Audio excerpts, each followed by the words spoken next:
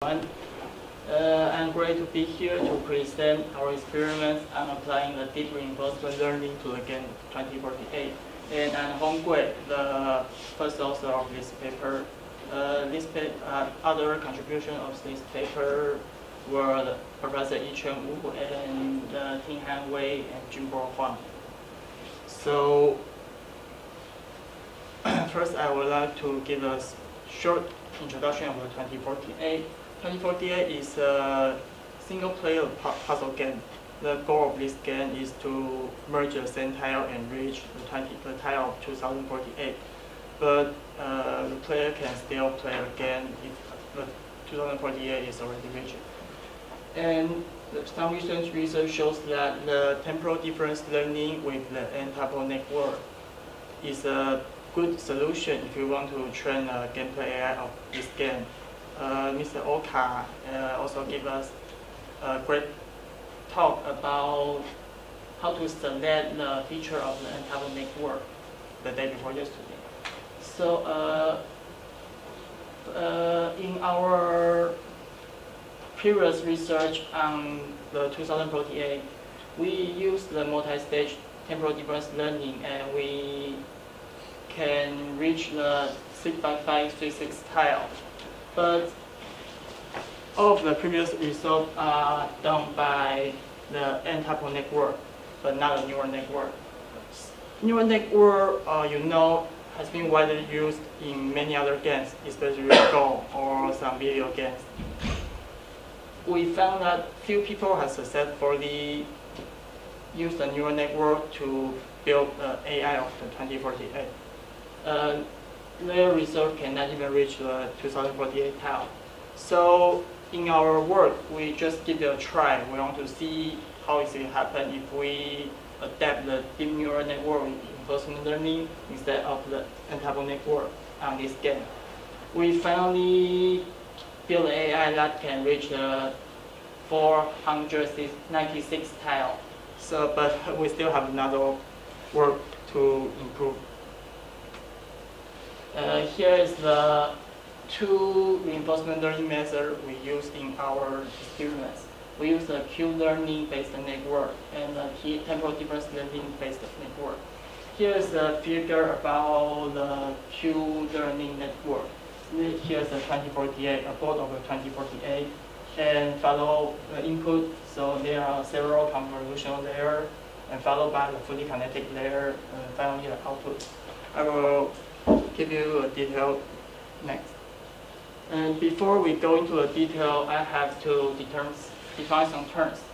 In 2048, there's a given board, so the player needs to select a proper action by a given uh, of a given board. Uh, if the game is not finished, the given board we call it before state, before the player perform an action. Uh, we can select a action, a legal action to perform to the before state, and then we will receive a reward so the game state is now the after state. The after state will, uh, a random tile will pop up automatically on after state. So the after state will turn to another before state. Again, we'll go on and finally end up if the before state with no decoration, that's game over.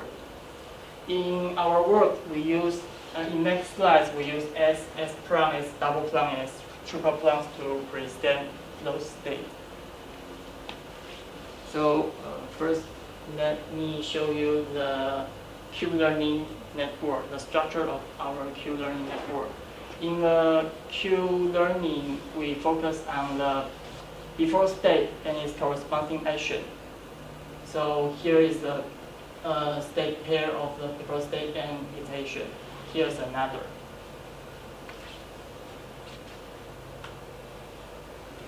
The structure of our Q-learning network is this.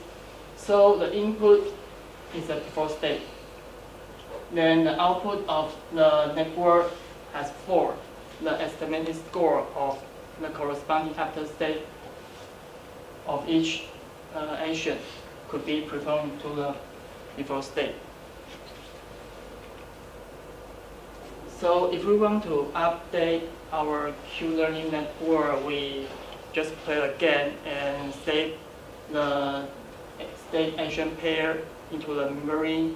So we got a state action pair, we can use the next state action pair, the Q of S double plug and A plug.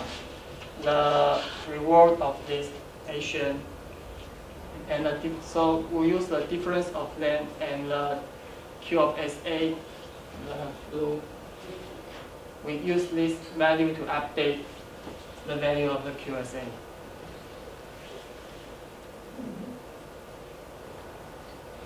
Uh, the second network is the TD learning network. In TD learning, we focus on the after state. So it is more simple, sim is more simple than the before state network because the input is an after state, so the output is the estimated score of the input state. When we want to update the TD learning network, we still play a game and save the game state record in the memory. The next next after state, you can see the S triple plug, the red. And the difference of the this after state, you can see the S plug.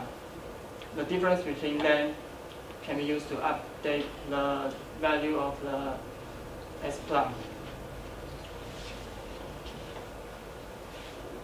So our network structure is finished. Uh, the input channel, uh, we have 16 input channel for each board. In our experiment, we decode each board state into the 16 4x4 binary image.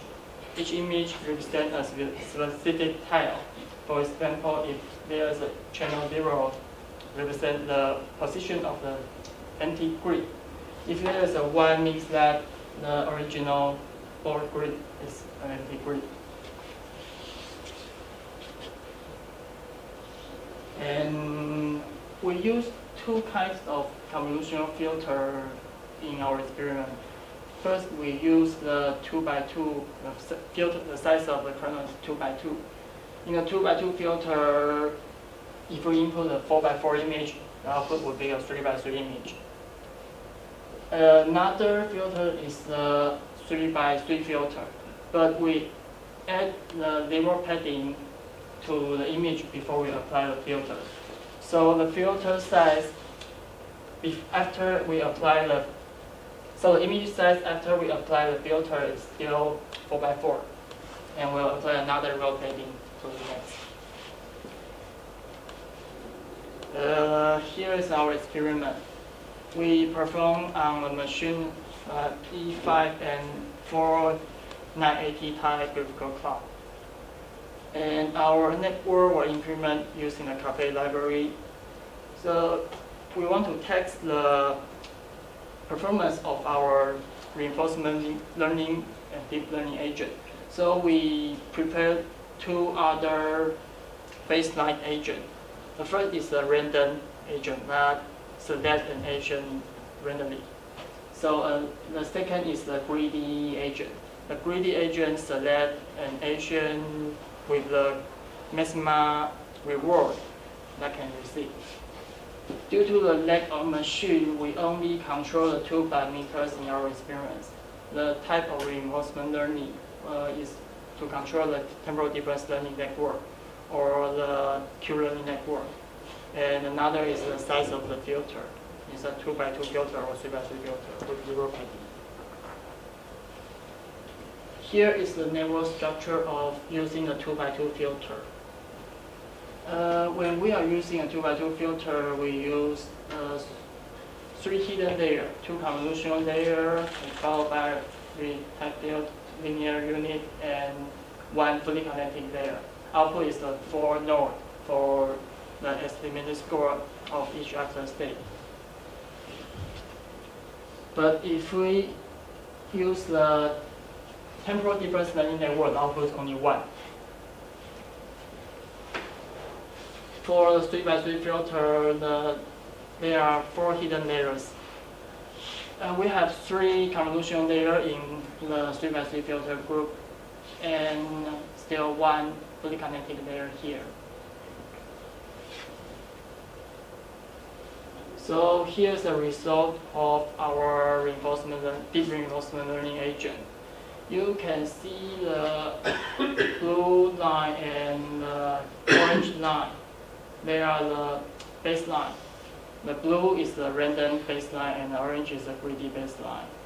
And the gray line is the result of our deep Q learning agent. The yellow line is the result of our temporal difference learning agent. Uh, the temporal difference agent has a small probability to achieve uh, time, the 2048 and uh, 4096. So here's a training, the score of our training process. You can see the maximum scale, maximum score is brought to about 30,000 of the temporal difference learning. But the average score is still low. It can, it cannot growth up. And the temporal difference learning in our experiment is more suitable for more suitable than the Q learning agent in this game. You can see that the green line is the, the score of the Q learning agent. Here is another graph with the 3 by 3 filter. The result is not good uh, with, uh, we think that the training process is not working very well. So here's our conclusion. Uh, we built an AI that can reach uh, 4096 tile and only have the 5.8 of the ring weight of this game. It is a very early attempt, so we still have a lot of work to, for improvement. For, uh, we think that we need to redesign the network to take into account our rotational, or, uh, rotational or reflectional symmetrics problem. Or we maybe need to try another network structure. We found that the pore size of the 2048 is too small, only 4 by 4. So if we're using a 2 by 2 or 3 by 3 filter on this board, uh, the same pattern means very different at the, the different position.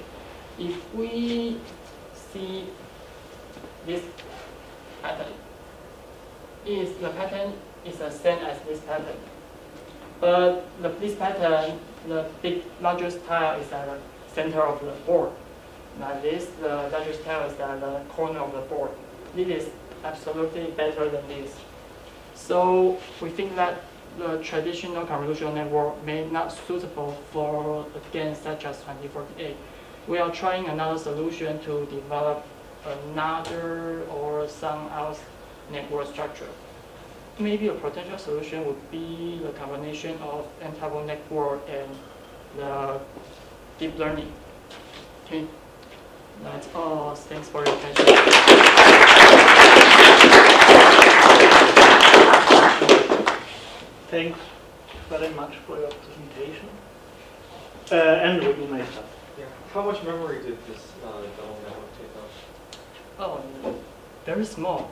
I think only several meg, uh, about, Mostly just to store the two by two combinations. yeah, right?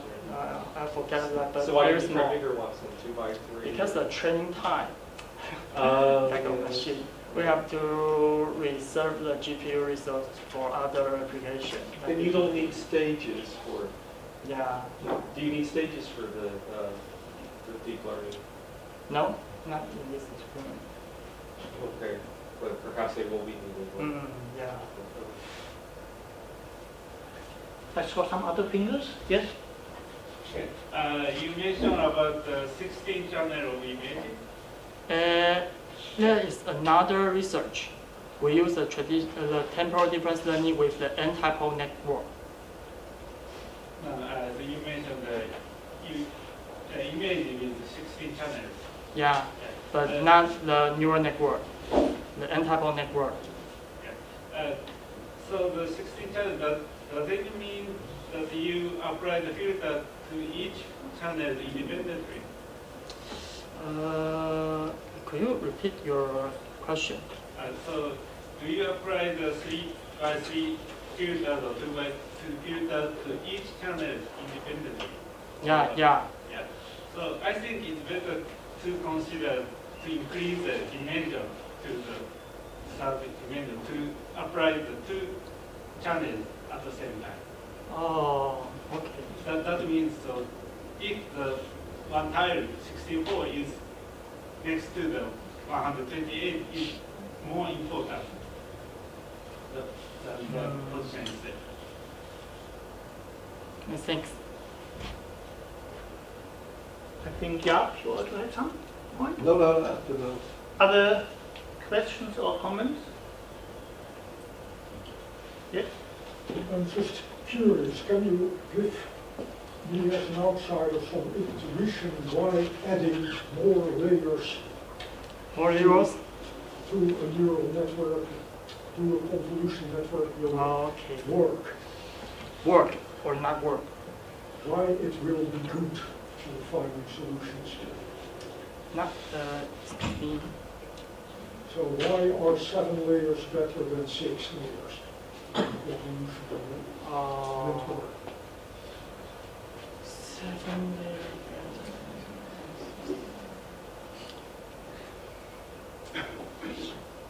To help him a little bit, because in the beginning at least, it is okay if you increase with the layers, yes? Yeah. But his implicit question is in fact, up to where? Hmm. I can answer this question now. Uh, but maybe we are here together, maybe we have some guesses or some ideas, because Hmm. it is an interesting question, yes? Yeah. And if you started to think about it, then you could, I would say, have an extreme. And nowadays we have already neural networks with, uh, I would say, more than 1,000 layers, yes? Hmm. And uh, so you could ask, is more than 10,000 also even improving or not? Yeah. At this moment, my answer, but this personal answer would be no, yes? Hmm. Now, that is in fact the extreme of his question. I think one, may may I say? Yeah. One of the problems with neural networks is overtraining. Yeah. Yes. And when the network becomes too large and your training set does not increase, then you have this overtraining. So you need a balance. When you make the network larger, you also need more training instances. And of course, there's only a final number of positions on the 4 times 4 board, at least when you do not go beyond 65,000. So there should be a natural upper bound for Yes, exercise. yes. Or even at the very end, you have fitted exactly all positions, like a table-based approach. Yes, that is an answer which I, I like to hear Hmm. and to think about. I would say that is. Okay, we are all thinking about it now. uh, thank you again.